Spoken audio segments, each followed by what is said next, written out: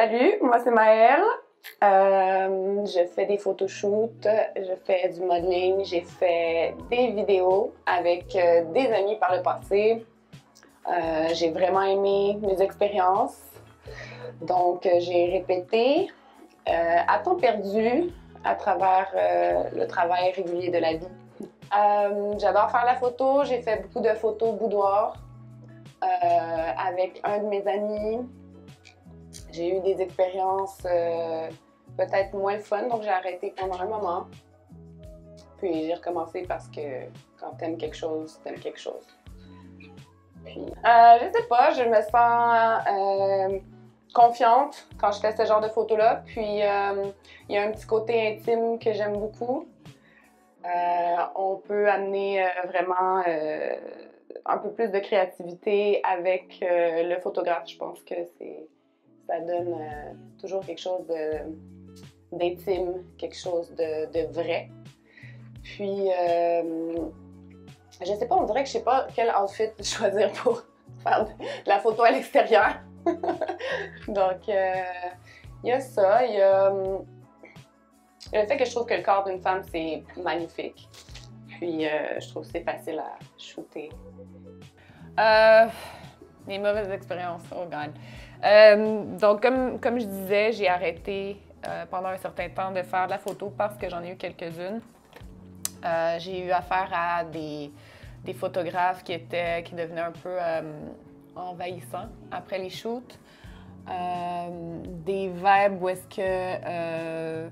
Ah, tu sais, je veux dire, le truc, c'est. Le problème, c'est pas qu'un gars s'essaye sur une fille. Comme, c'est bon, t'essayes d'avoir son numéro de téléphone, de l'amener souper, de, avoir un moment avec. Ça se peut que ça clique des deux côtés, ça se peut que la personne soit intéressée. Le moment où est-ce que j'ai un malaise, c'est quand, pendant le shoot, je te dis que j'ai un chum. Pendant le shoot, je suis à moitié nue devant toi. je suis en sous-vêtements, je suis, euh, je suis fragile, je, fais confiance. Euh, puis là, ensuite de ça, ben, tu as comme une image de moi. Ça me donne l'impression que tu as une image de moi qui est sexuelle, puis que tu t'en profites un petit peu. Là. Donc, ça met un peu euh, inconfortable, surtout quand tu, dis à la base que tu n'es pas, euh, pas disponible. Je trouve ça spécial d'aller vers ça.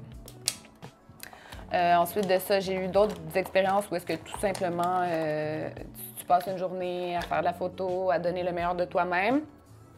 Puis la personne te rappelle constamment que c'est pas assez, qu'il n'y a pas de photos qui sont des bombes, euh, que finalement, après, tu te, retrouves avec aucun produit final.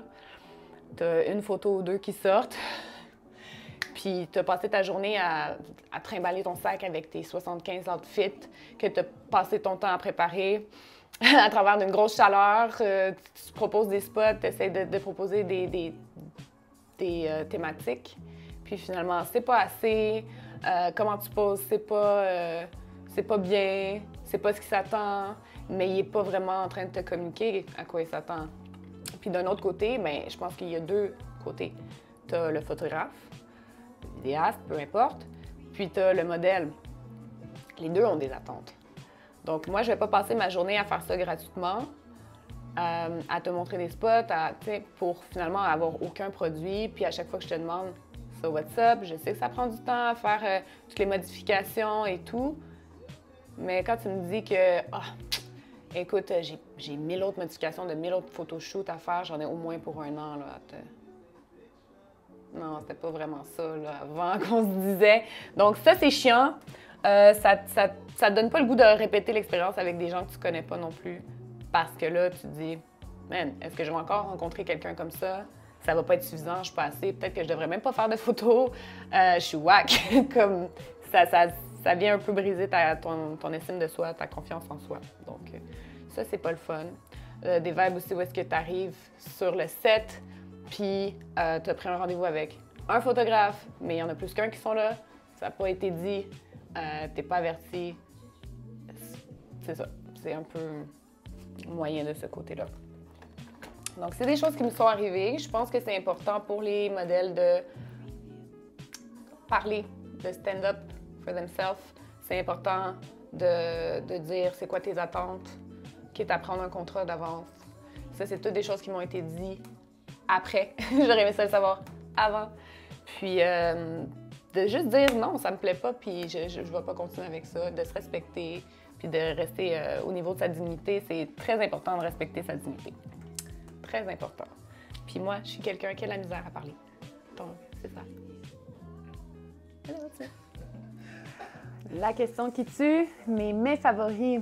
Mon Dieu, moi à la base, je suis une foodie. J'adore cuisiner.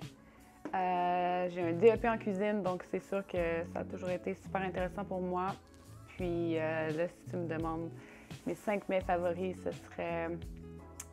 J'aime ça dire que je suis Garfield. J'adore la lasagne, même si c'est stupide comme mets, mais j'adore ça. Euh, sinon, je pourrais dire j'adore l'agneau. la tchéké, la tchéké, c'est quelque chose de la Côte d'Ivoire.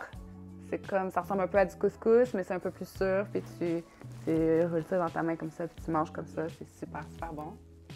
Euh, avec un bon poisson braisé, là.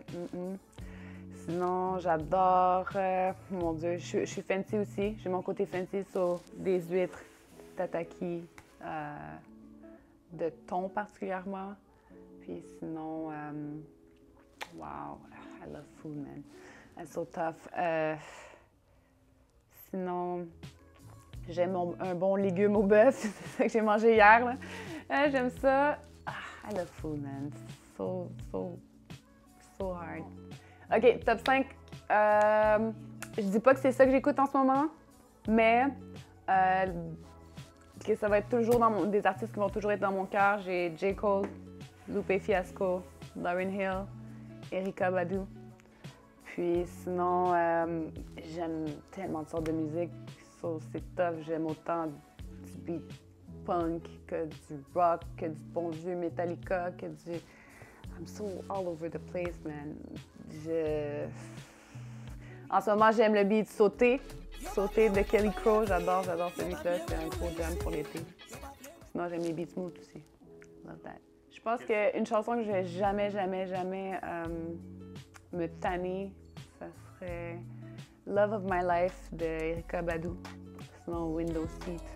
Love that girl. She's a, she's, she's a queen, man.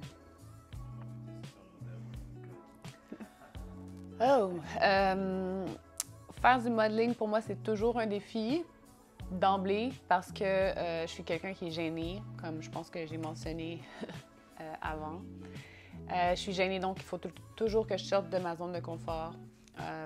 Dans ma tête aussi, il y a beaucoup de, de questions qui se posent par rapport aux attentes du photographe. Donc, j'essaie de lire le non-verbal de la personne, si elle semble être contente ou aller pour des petits, des petits indices comme Oh, wow, oh, OK, ça c'est bon, on reste comme ça, tu sais. Mais, at the end of the day, tu sais jamais vraiment qu'est-ce que la personne pense.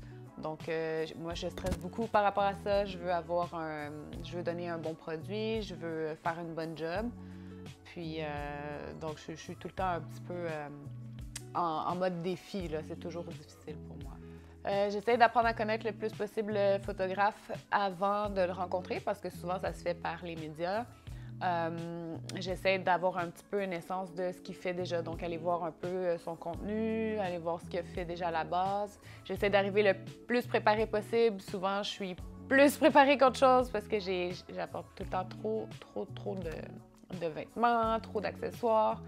Puis des fois, j'en apporte tellement trop que j'apporte même pas vraiment ce qu'il faut. On essaie de se réinventer tout le temps, on essaie d'être créatif, euh, d'avoir une bonne énergie, euh, puis d'aller là, puis de, se foncer dedans. Je suis une personne qui est souvent anxieuse, euh, mais j'ai appris à vraiment comme me foncer dedans, puis à aller vers les défis quand même. Pas me laisser arrêter par un peu mon tempérament de gêne, parce que si c'était ça, je ferais rien, je changerais pas de job, j'aurais pas trouvé des beaux emplois. à travers ma carrière aussi, c'est difficile. Il faut que je change d'endroit souvent pour monter les échelons. Ben si c'était pas euh, par cette persévérance-là, cette détermination-là, puis euh, euh, ce, courage-là que je mets dans, dans mes actions, il n'y a rien qui bougerait. Donc, ayez courage, puis foncez dans la vie parce que sinon, c'est plate. C'est comme vivre puis mourir un peu. Tu fais rien. T'es juste mort. That's boring. Boring stuff. Euh, c'est quand même difficile à, exprimer parce que je pense qu'en 2021, il y a euh, autant il y a les, les, modèles Instagram, il y a les modèles qui sont euh, des modèles plus euh, taille officielle de runway. So, si je reste à Montréal ou dans les alentours, je dirais Marie Gagné. Je trouve qu'elle a des features de fou. Ça a l'air super facile pour elle. Elle n'a pas l'air de vouloir, de, de, de devoir faire grand-chose, par, pardon. Puis c'est tout en sublime. Donc euh, Emma Gagné, euh, Laurence Strock, je ne sais pas si je dis le nom comme il faut. Elle a un vibe à la Brienne de Game of Thrones, euh, mâchoire définie, euh, cheveux courts et tout, avec sa copine, ils font des super belles photos. Euh, sinon, j'aime bien Miss Sugar Peach, je sais pas c'est quoi son nom réel, mais je trouve qu'elle fait des super belles photos. Elle a une très belle histoire aussi, puis euh, c'est un peu plus marginal son style. Euh, sinon, si on va dans les. Euh, mon Dieu, j'aime bien. Comment Je sais même pas c'est quoi son nom. Je suis pas bonne avec Kardashian, mais c'est Kendall, je pense. Kendall. Kendall, euh, je la trouve super belle. Je trouve qu'elle n'est pas too much comme le reste de la famille. Puis euh, elle aussi, ça a l'air effortless. Ça a l'air super facile. Voilà. Euh, en regardant mon profil Instagram, je dirais que tu as quand même une bonne idée de la personne que je suis parce que je pose sur autant les activités que je fais, sur mon monde, sur ce qui me parle. Je pense que je communique aussi de la façon, d'une façon représentative de ma personne, sauf que ce soit par les citations par juste comme des, des niaiseries, je vais dire, ou la vibe que je dégage, je pense que tu as une bonne idée, somme toute. Je pense quand même que euh, peut-être que tu ne saurais pas euh, les choses par, lesquelles je suis passée à travers ma vie qui sont personnelles. Euh, mon Dieu. J'aimerais. Ouais, c'est une tough one. Finalement, j'aimerais. je sais pas. D'un côté, j'aimerais que les gens se rappellent peut-être des phrases que j'ai pu dire ou des, des, encouragements qui reviennent souvent, un peu ma façon de penser, qui en gros est très simple. Euh, je souhaite à tout le monde une paix d'esprit. Je pense que c'est le plus beau cadeau que, que quelqu'un peut s'offrir. Donc, travaillez tout le temps en fonction de ça. Ayez euh, l'objectif numéro un d'atteindre l'état d'esprit. Il faut toujours être cohérent avec la personne qu'on est. Euh, si on se sent pas bien à un endroit avec des gens, c'est soit tu le dis, soit tu fais en sorte que ça se reproduise plus. Donc, euh, paix d'esprit, paix d'esprit. Euh, sinon, riez, ayez du fun, prenez pas les choses trop au sérieux. Euh, vivez le moment présent. Oh, je pense que ça, c'est, je pense que c'est ça. Vivez le moment présent. Arrêtez-vous deux secondes, regardez la couleur du vert du printemps. Ma mère, elle dirait ça, c'est le verre tendre. Puis il n'y a pas de verre comme ça le reste de l'année. C'est le seul moment. Ben, le moment où est-ce que tu le vois, là, là prends deux secondes, secondes puis réalise t'es où, t'es avec qui, qu'est-ce que tu fais? Respire un bon coup, puis rappelle-toi de ce moment-là. Puis essaie de le faire le plus souvent possible. Comme ça, c'est comme ça qu'on reste dans le moment présent. C'est comme ça qu'on n'est pas anxieux anxieux de ce qui nous attend, puis euh, en dépression par rapport à ce qui est arrivé avant, ou mal à l'aise, ou inconfortable. Donc, rester ancré sur le maintenant, puis à partir de là, je pense que les choses vont aller beaucoup mieux.